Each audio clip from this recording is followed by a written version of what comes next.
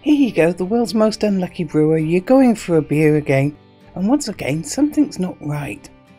You pick the beer up, hold it up, stick your nose in it, and you get a prickly sensation right at the back of your nose. It's it can be almost painful at higher levels. You, think, oh well, I've I've got to try it. I've spent all this time only brewing it. You try it, and it's quite hot and harsh in your throat. You can feel it almost an unpleasant burning sensation. It's not very pleasant at all. It's extremely alcoholic, but not in the normal sense. Well, here, what we're talking about is fusel alcohols or higher alcohols. Let's find out a bit more about that.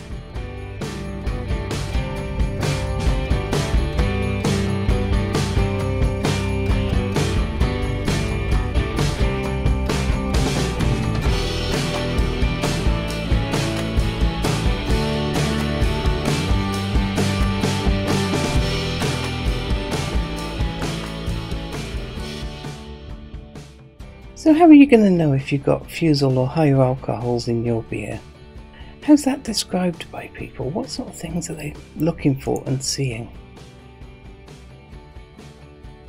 It's often described as being quite harsh or solvent like, alcoholic but not nicely, hot, or a prickly sensation in your nose. Where can you detect this fault?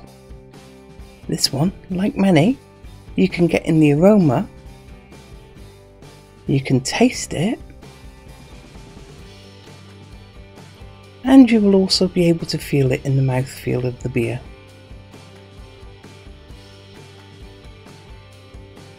What's the details then?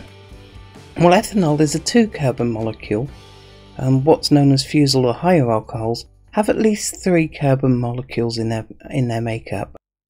It's a byproduct of the oxidation of amino acids or their metabolism by yeast. Stressed yeast can metabolize fatty acids passed through from the hot and cold break, which produces extra oxygen and carbon molecules, increasing the incidence of higher alcohols. Sugars can also be converted into acetate and then onto higher alcohols later on.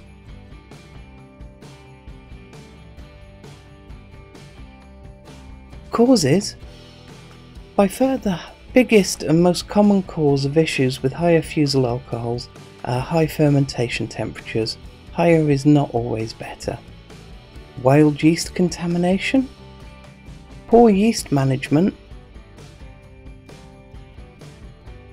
or if you've got low oxygenation levels in your wort or, or low free amino nitrogen, you've normally got enough in the wort but if either of those are low, then that can cause or contribute to this problem. How do you avoid it? And yes, you do want to avoid it because it's not very pleasant and it will give you a nasty headache.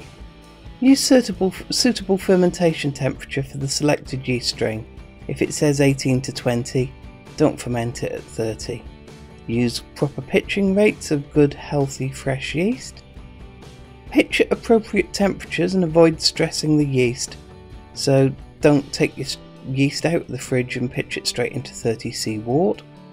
Good sanitation will help prevent wild yeast infection. And then if all else fails, leave the beer to age longer as fusel alcohols will start to break down and reduce over time.